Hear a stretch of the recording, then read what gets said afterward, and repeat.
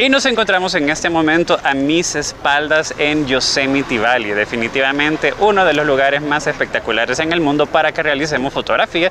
Y en esta oportunidad les voy a dar un consejo sumamente importante si nosotros queremos mejores fotografías y es el consejo de que la luz es el elemento más importante para lograr buena fotografía y por lo general el consejo es que no tomemos las fotografías en momentos como este porque ahorita básicamente estamos a mediodía si ustedes se fijan, la luz está bien dura y uno de los secretos de los fotógrafos cuando quieren lograr las mejores fotografías es que no tomen fotografías cuando todas las demás personas están tomando. Por ejemplo, ahorita está llena de turistas, pero no vemos a los fotógrafos profesionales porque el secreto es buscar la mejor luz. Y ahora viene la pregunta, ¿cuál es la mejor luz? Por lo general, la mejor luz sería antes del amanecer o después del atardecer o justo en el amanecer o en el atardecer. Es decir, cuando la luz no está tan vertical, sino que está más lateral, es menos dura y también tiene una riqueza de colores muchísimas más fuerte. De todos modos, en este momento voy a tomar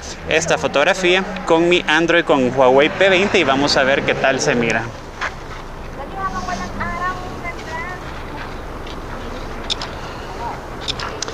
En esta oportunidad voy a hacerlo de dos maneras distintas. Lo voy a tomar primero, como lo acabo de realizar, en JPG automático, pero una de las cosas que también me encanta de los teléfonos Android, a diferencia del iPhone que no funciona así, es que nos permite tomar fotografías RAW sin tener que instalar ningún software adicional. Entonces ahora voy a configurar, les voy a enseñar aquí lo que estoy haciendo.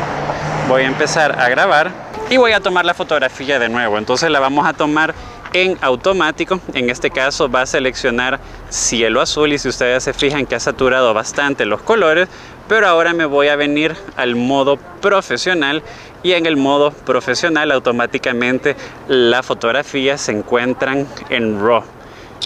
Y aparte aquí tengo otra opción.